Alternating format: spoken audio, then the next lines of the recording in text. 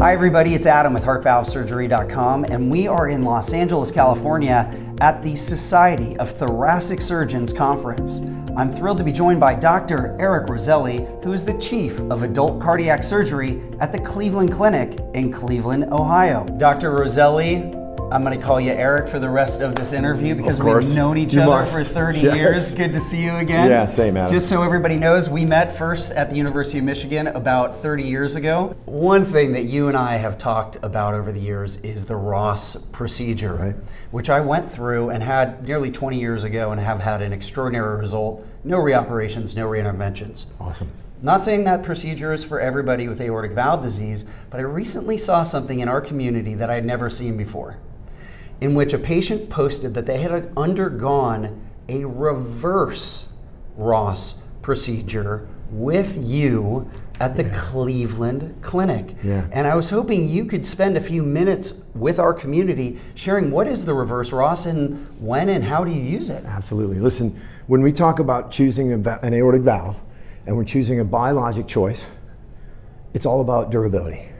And folks want the Ross if they're young and things come together, then because the Ross might offer you the best chance at durability, like the durability you've had.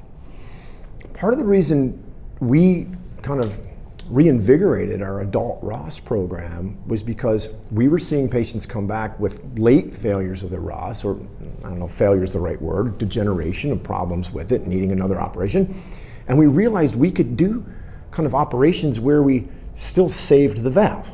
Sometimes we turn it into a David's procedure if there's an aneurysm around it, and we save that valve that's functioning really well. And then sometimes we do an operation which was really um, pioneered by Gustav Pettersson, uh, the great Gustav Pettersson from our group, what's called the reverse Ross, which means he takes that autograft pulmonary valve and we put it back over where it came from, which is awesome. So you still have your living valve, and um, and then we replace the aortic valve with some other choice, a mechanical or biologic valve. And, and I think it was around 2007 when Dr. Pettersson first started, started doing that, and we've all learned how to do that. And it's not for every patient, but again, we, we love this idea of saving the living valve. It's, it's a great sort of principle of, of care. And, um, and we've had experience with over 50 of these. The operation is done, you know, really well.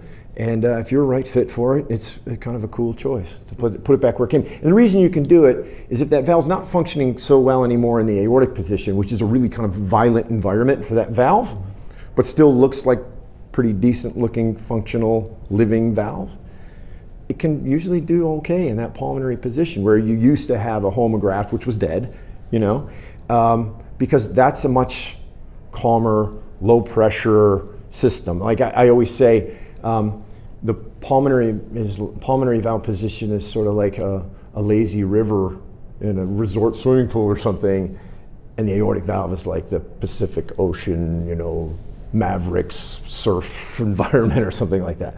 So you can take it and put it back, and then you replace the aortic valve, and it's a it's a cool way to sort of um, do a late operation on a Ross, which is still really nice for a patient, a nice option. Well, I love that you are doing everything you can because I've always seen you campaign for keeping the living tissue Yeah. in the heart and going back to what you said at the beginning. It's all about the durability. Yeah. How can you keep that going throughout the patient's lifetime? Eric, as always, great to see you. Thanks for everything you're doing at the Cleveland Clinic. Keep it up, and I'm just so happy you could be with us today. Of course, thanks, Adam.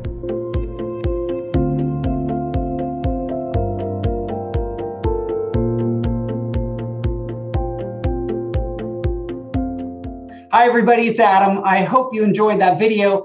And don't forget, you can always subscribe to our YouTube channel, watch the next two educational videos coming up on your screen, or click the blue button to visit heartvalvesurgery.com.